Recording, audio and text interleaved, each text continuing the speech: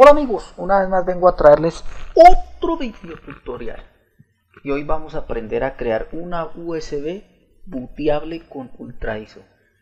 ¿Por qué recomiendo Ultra ISO? Porque es más seguro y, como dicen por ahí, la vieja confiable.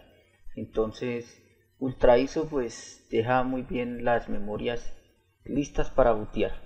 Entonces, no siendo más, vamos a comenzar.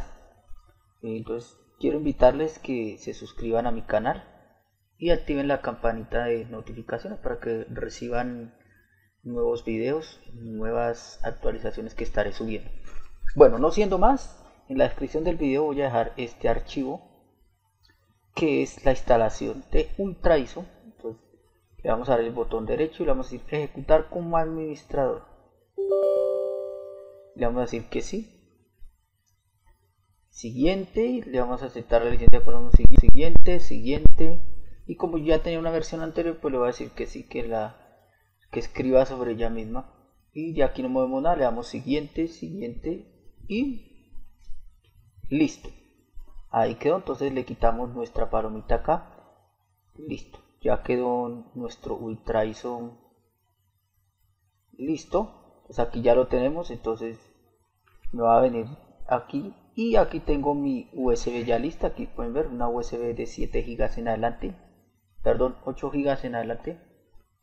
Entonces ya teniendo nuestra USB lista les recomiendo si tienen datos y eso salvar listo. Entonces lo que vamos a hacer aquí está mi acceso directo de Ultra ISO y aquí está mi Windows.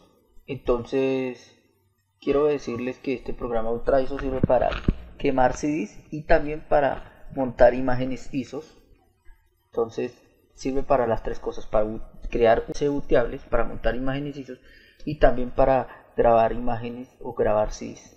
Entonces, por hoy vamos a ver la parte de cómo bootear una USB. Pues vamos a darle el botón derecho y le vamos a decir ejecutar como administrador. Y le vamos a decir que sí. Si no se ejecuta como administrador les va a arrojar un error de que no los va a dejar bootear. Bueno, aquí le vamos a decir evaluar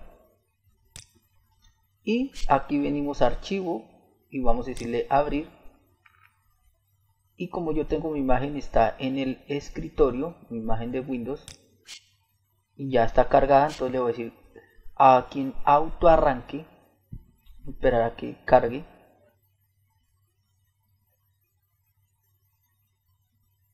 Y vamos a decirle aquí grabar imagen de disco.